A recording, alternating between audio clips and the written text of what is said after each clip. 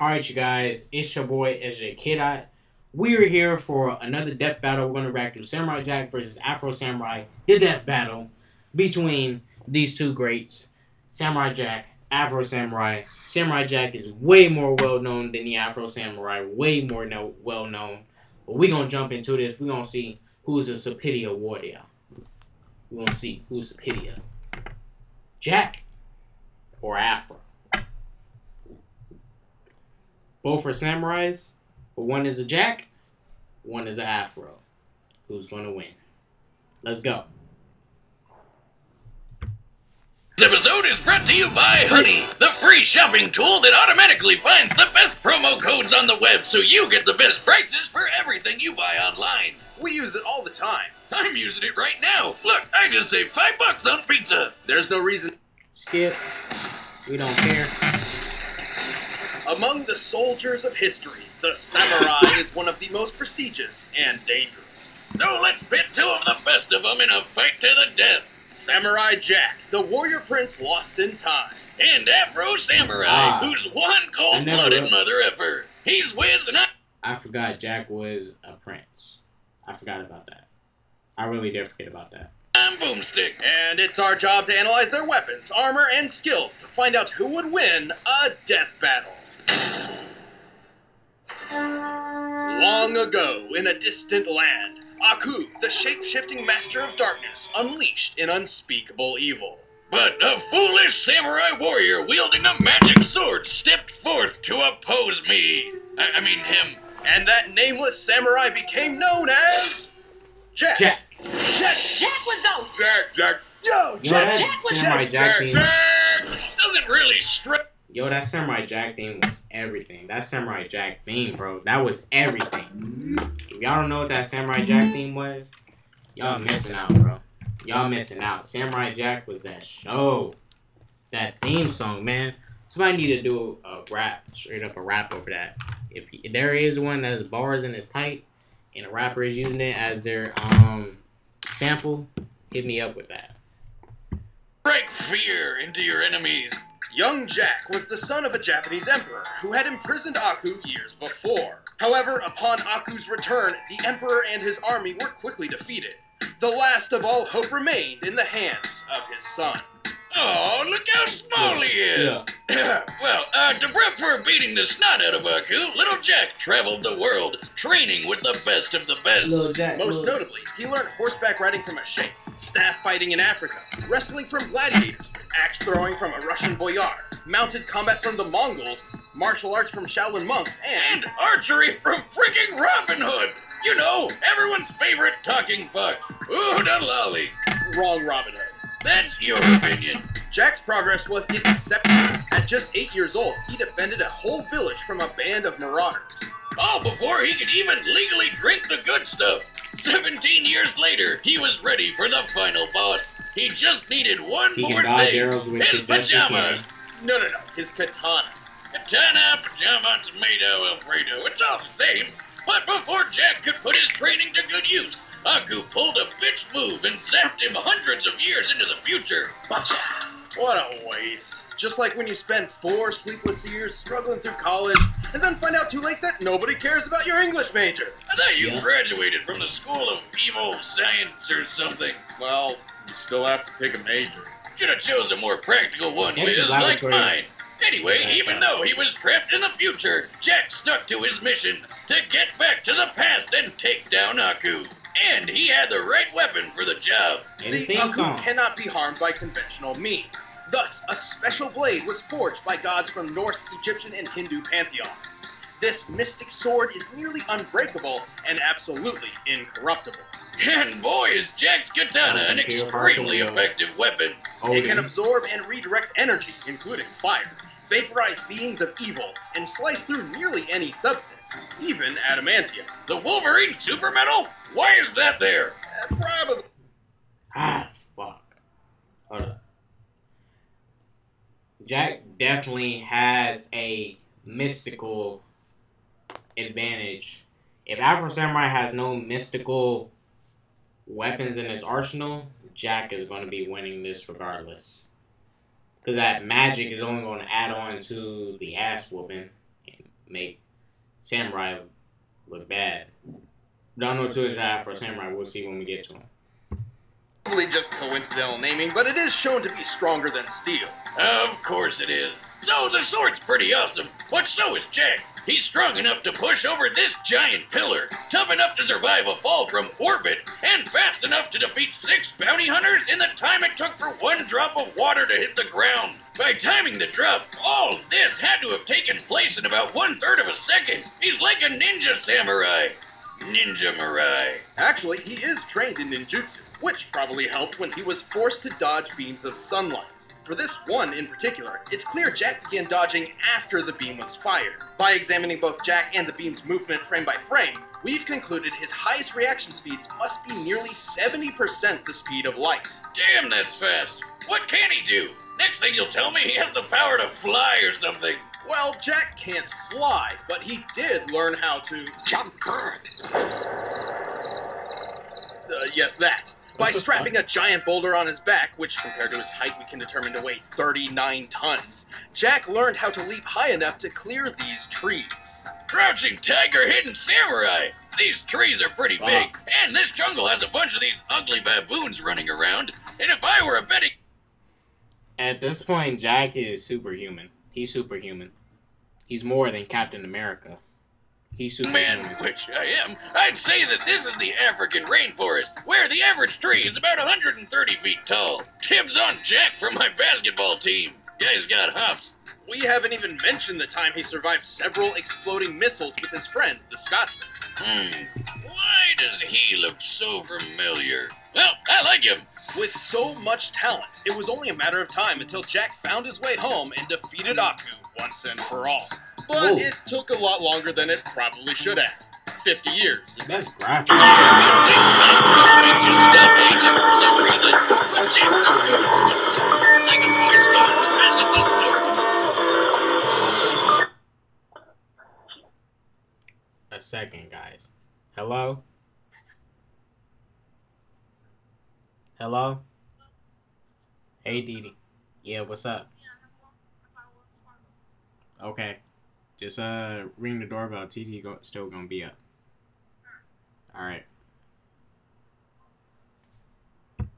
Twitter yet. He can be pretty gullible when it comes to more devious opponents. Also, he continues to prolong his lonely journey over and over just because he frequently puts the needs of others before his own.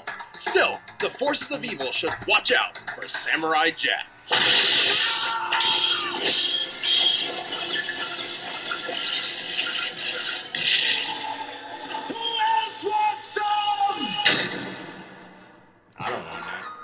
Stories that surround the two sacred headbands are as many as the men who died in their pursuit. What's so special about some strips of headcloth? Legend says they were created by the gods, or they can grant the wearer supernatural powers. Oh. But in oh. truth, the headbands only bring pain and loss. Such was the case with Afro Samurai. Wait, did his parents really call him Afro? Talk about setting big expectations. Well, no, it's a nickname, but even if they did, have you seen his dad? I think they knew what to expect. Damn, just look at it. Oh, and hey, look, he's got the number one headband. Here's how this works the person who wears the number one headband is said to rule the world, and the only person who can challenge the number one is whoever possesses the number two. In contrast, anybody can challenge the owner of the number two for the right to wear that headband, and thus gain the right to challenge the number one. So, like, you just work your way up so that only one guy in the world can challenge you? So, where do I get one of these headbands? Then no one will mess with me. Actually, the opposite would probably happen, which young Afro witnessed firsthand when some freak named Justice showed up with the number two and killed his father right in front of him. Why does this always happen? You know, I always thought parenting was the hardest thing about being a dad, but at this point, I think it's just actually staying alive if your kid's ever going to do anything Ooh, he great. chopped off his head. Or just oh. Sticking around for them. Despite knowing that he was effectively creating a future challenger, Justice left Afro alone to mourn his loss. So, of course, Afro swore revenge and started learning swordsmanship under a swordmaster named Swordmaster. Who the hell is naming these people? Through Swordmaster's training of sword mastery, Afro learned the traditional samurai fighting styles of Kenjutsu and Kendo. Kenjutsu is all about how to kill an opponent as fast as possible, while Kendo is more about discipline and being zen and stuff.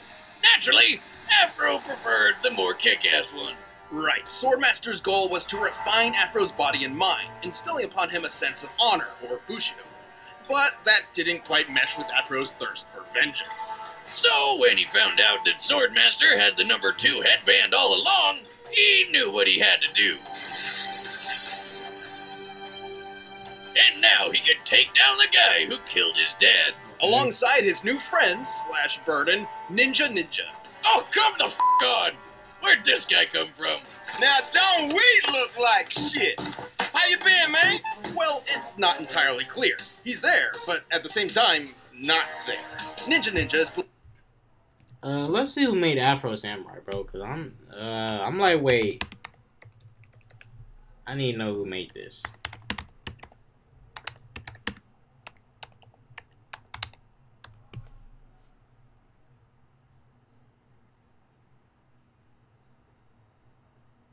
Okay.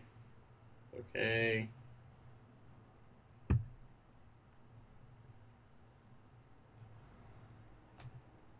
Uh, it's not exactly saying who the creator of the show is.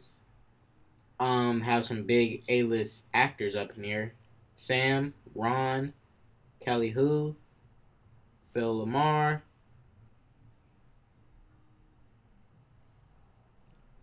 Why do they always get female actors to play little boys? Is it that hard to get a little boy to play a little boy? believed to be the guardian of the number two headband. But all he ever really does is talk, talk, and talk some more. He got arrows and grenades and shit. You ain't got no chance, dude. Though it's also possible Ninja Ninja is simply a figment of Afro's mind, brought about by psychological stress. You know, I have an imaginary friend. PTSD. Aren't you a little old for that? Not for Al Gundy. He's a gun who also talks to me. He tells me to do stuff. Okay. Anyway, to be honest, calling Afro a samurai is a bit misleading. He's actually more akin to a ronin, a samurai with no master. Yeah. And so, with his swordsmanship perfected, Afro wandered the world searching for justice, carrying an arsenal fit for revenge. including his father's sword. This super long blade has lasted through decades of battle without much issue. Perfect for kicking some ass. He also has a steel comb, which can be a surprisingly effective offensive and defensive tool.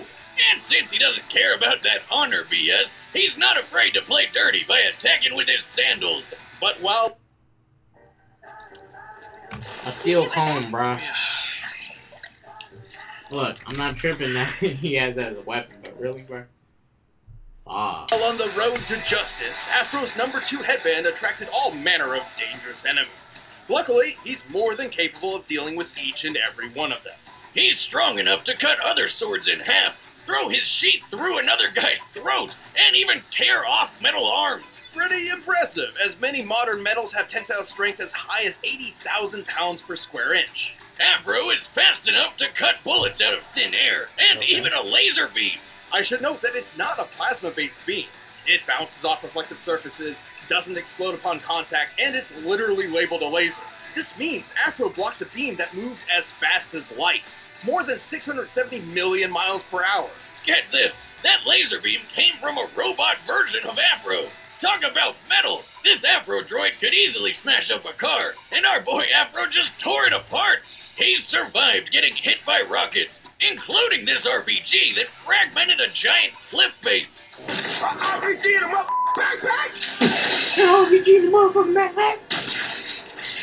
I think I smell math coming. This tree nearby is most likely a Japanese mountain ash, which can sometimes grow as high as 30 feet. Okay. With that in mind, we compared its height to the fragmentation created by the explosion, Okay. and compared the resultant surface area to the shear force for granite. Okay. With this, we deduce the RPG's highest possible explosive yield must be around 72 tons of TNT. Damn, what kind of mega rocket launcher are these guys packing? Where do I get it? Many stood in his way, and Afro didn't get through them all unscathed. But by the end, he cut down justice, took his revenge in hand, and proved I can care less about the math behind it. He's OP. he's OP to a point, to a degree. But this, we just know he's strong as hell. To the world that Afro Samurai is number one. Why you gotta kill all my men? Why you gotta kill me? Nothing personal. It's just revenge.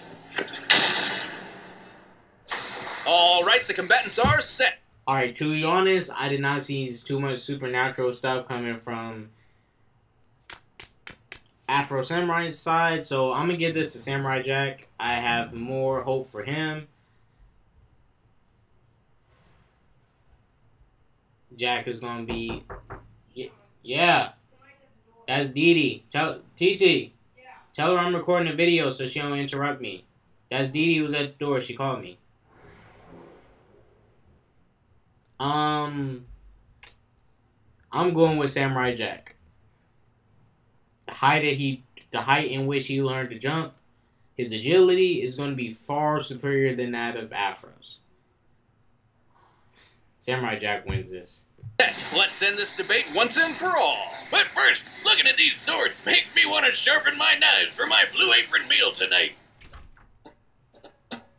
By now, you've probably heard of Blue Apron, the leading meal kit delivery service in the Uh, U.S. skipping. But did you know about all the different kinds of delicious food?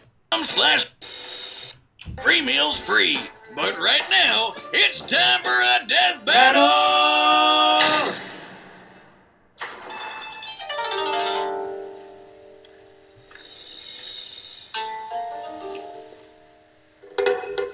Hey, this this animation.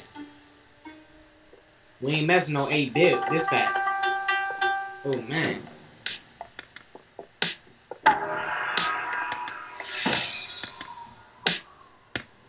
Your sword smells of blood.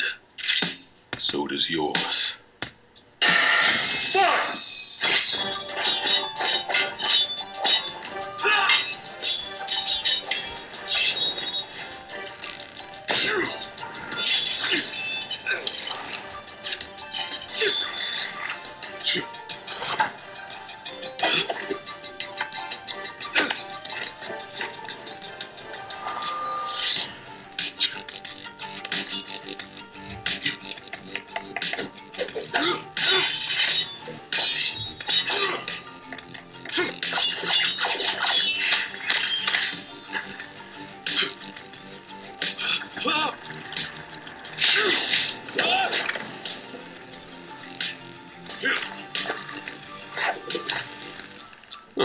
you jump good.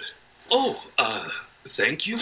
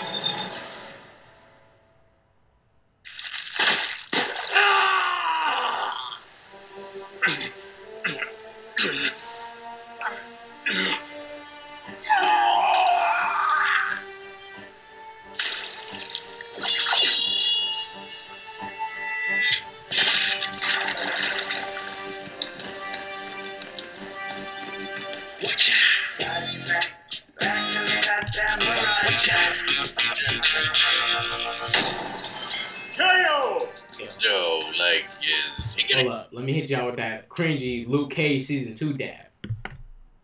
Mm. Yeah, that Luke Cage dab. Mm, mm. oh, that shit. That was so garbage. That dad from Luke Cage season two. But let's go. get his arm back, or Afro was an exceptional warrior, and his skills would absolutely dominate most sword fights. However, Jack has had a lot of experience with opponents who fight dirty, and Afro could not stand up to his physical superiority. yeah, Afro never showed strength like how Jack lifted that 39-ton boulder.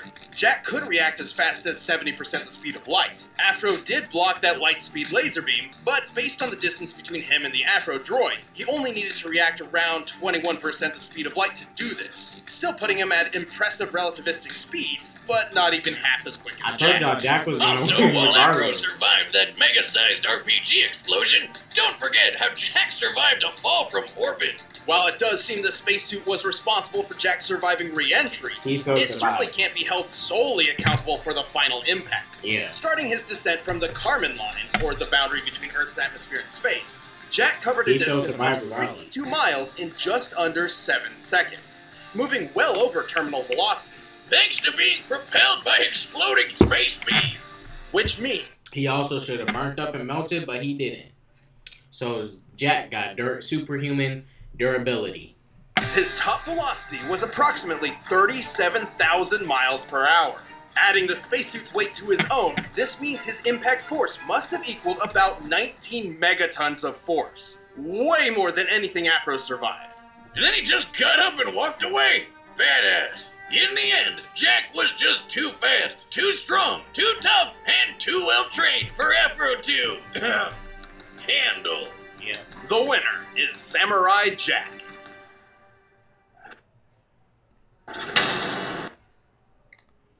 We gonna end this video there. It was pretty obvious who was gonna win. I knew it was pretty much gonna be Jack from the start. I knew it was gonna be Jack. When we was pretty much done with Jack, I was like, yeah, I doubt they have any of this shit going on in Afro Samurai.